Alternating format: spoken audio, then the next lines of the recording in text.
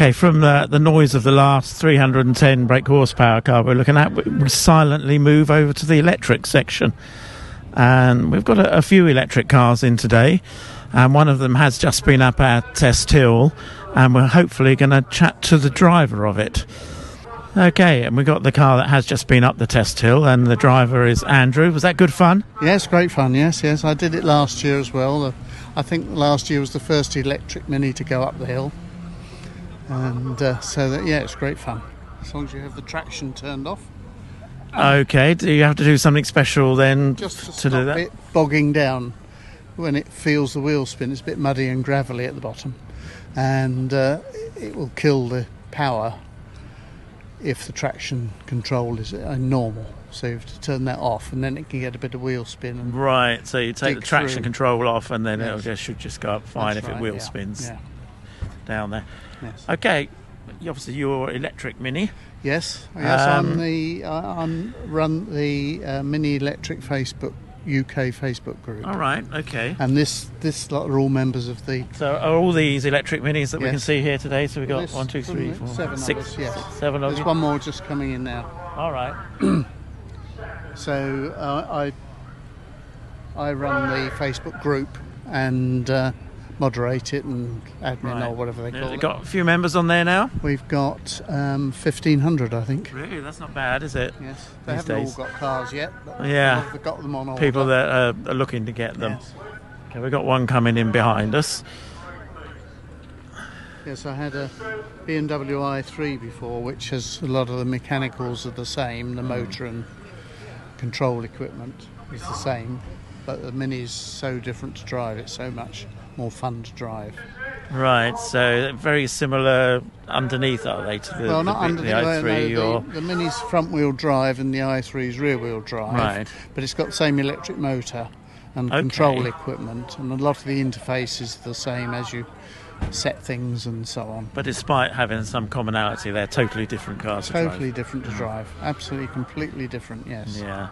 So the Mini you think is better? Oh, miles better. yeah, yes. much better driver's Yes. car. Oh, much more of a driver's car. Yeah. Yes. Yes. I mean, the i3 goes very well, handles fairly well, but the Mini just it's a different car altogether. Mini's Yeah, got absolutely. the enthusiasm. It wants you to drive it hmm. fast. It wants you to enjoy it. The i3 reluctantly performs. Right. So with with the electric Mini now, are they all the same battery packs? Have they Yes. got different variations now? or- Not on battery. They've all got the same battery the pack. same. They've all got the same motor. They are 34 kilowatt hour. 34 kilowatts.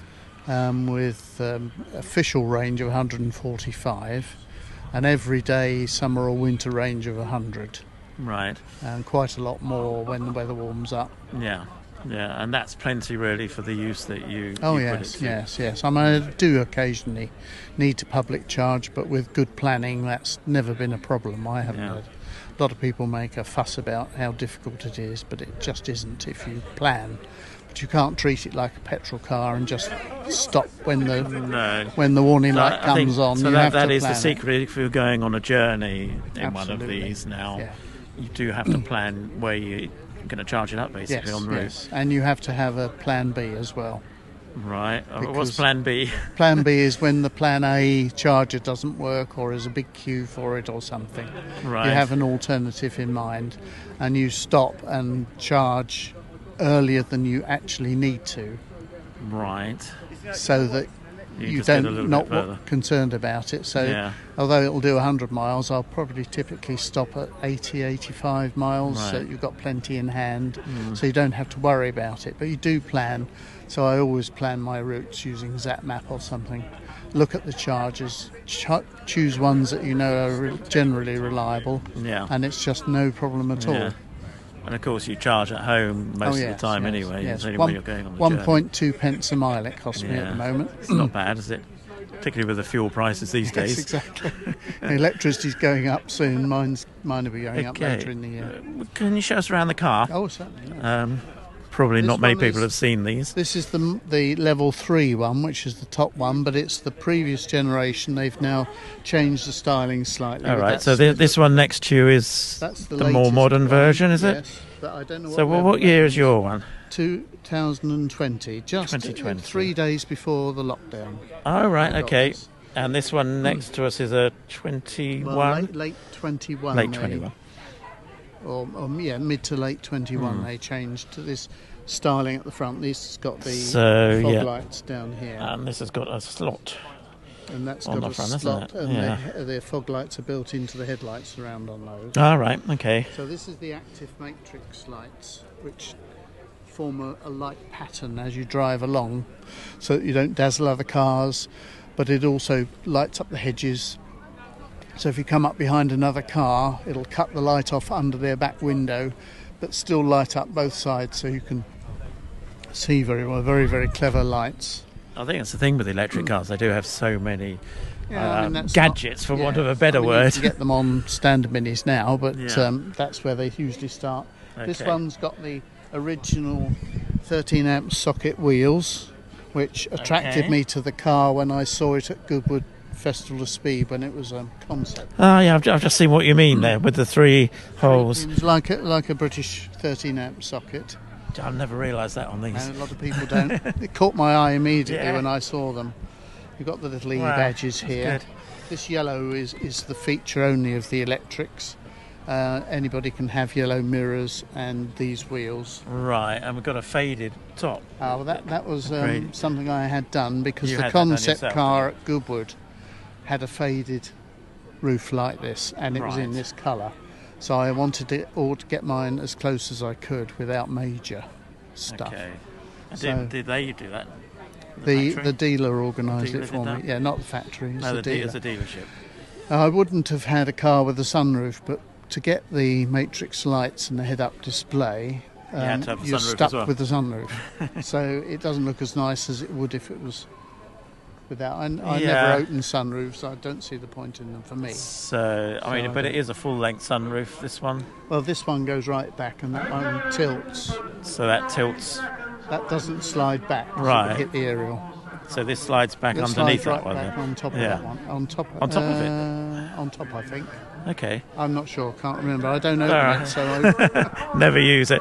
Okay, shall we have a look inside? Uh, this one is, as I said, it was the level three version. Is that gonna? Yes, that's gonna. Uh, should be, Um, that'll be all right. But I had the seats changed because I don't like leather. Okay. So I've got the standard mini sports seats, Mm-hmm. which were swapped out for me. Right. Otherwise, the interior is standard of its day. The the later ones have got a slightly different display in the centre central display, um, which it lights Yeah. up quite nicely. Okay, there we go. We're powered so up. The later ones have the the oval dash, which has now become standard on minis, but it was first out on the electric. And, the- and the thing that's popped up there, is that That's a the head-up head-up display. display? Yes, I had that on a previous car, my wife's car, and I think they're such a wonderful safety and convenience. You can't really see the display unless you're sitting in the driver's seat. Right. But it shows you speed, navigation, directions, um, cruise control settings, radio stations when you want to change them, uh, phone messages, and so on can all come up in there. You can choose what you want on it, and then you've got the navigation on the nice the central round, round. style. The traditional round central. Well, it's Speedo in the original minis, wasn't That's it? right, But yes, in this one, it's your digital display. Yes, well, it was in my 1968 Mini, and, Hmm. and in fact, we had a 1962 Mini at one time. So yes, very much the Mini style and Mini, the Mini way. That's great. And so we've got no engine in the front. So what what do we have in the front? Oh, this is a flap. this is your charge flap. in exactly the same place as the standard petrol cap, and you just remove this cap for charging at home. I've got a seven kilowatt charger. Simple, plug it in, lock the car, and it charges up, or it charges up on off peak Yeah. electricity. And then if you're on the motorway or out and about and you need to rapid charge, you take this one out as well. And then you So you've got a rapid charge option plug, in there. Yeah. and that plugs the charges up on the bottom two pins on DC, whereas this is AC. the top one. I'd imagine you don't really use that that often unless you're out on a journey somewhere. No, but when you are on a journey, the, you would never use the 7 kilowatt unless you were really desperate because it's very slow. it, on the 7 kilowatt one, it charges up at about 25 miles an hour, we call it. So Right. you gain 25 miles of range hour of for an hour of charging, which is perfect for home. Um, and on the the DC charger, it's um, about 200 miles an hour, I think. but you don't obviously charge it for that long because the range is only 100 anyway, Yeah.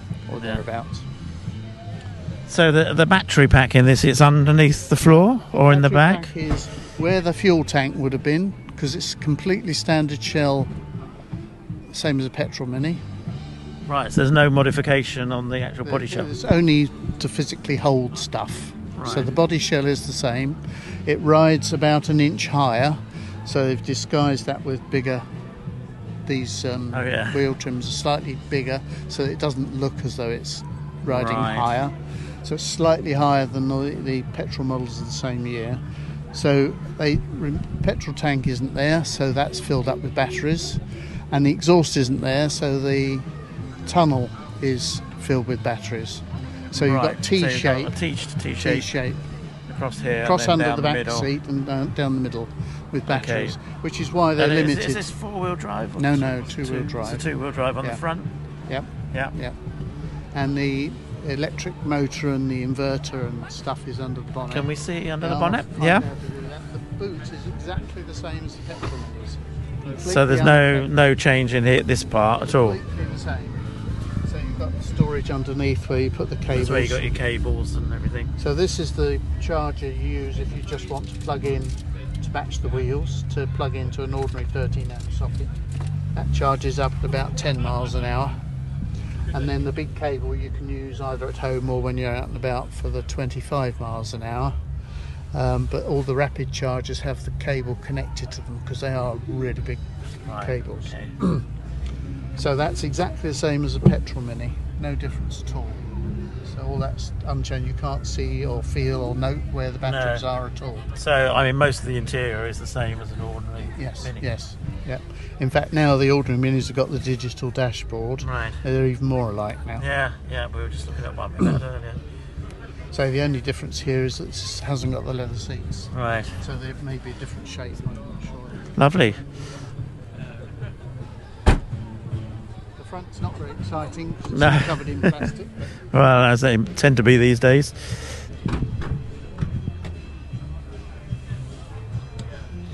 Okay, so we'll go around the front. We'll have a look under here, which will probably have a big plastic cover on. There we go. There we go. So So- the, the electric motor is right down underneath, you can't see that at all.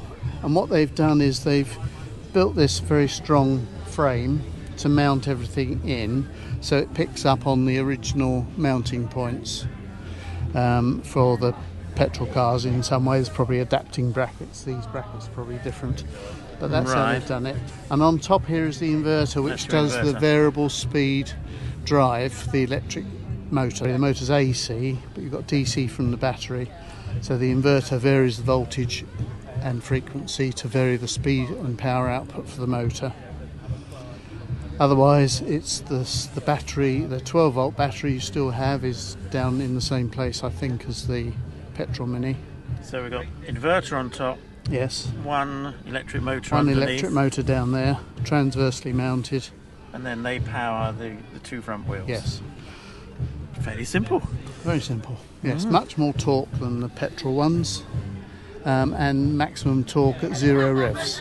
So the initial acceleration is It's quite strong. yes, and you don't have to prepare or plan; it just goes Yeah. immediately. So Yeah. the performance is extraordinary in terms of the, its reaction. So 0 to 60 time, same as a Cooper S, more or less. But it, they actually feel quite a bit more rapid because you don't have to plan and change down gears or make sure the turbos wound up or anything. Yeah. They just go.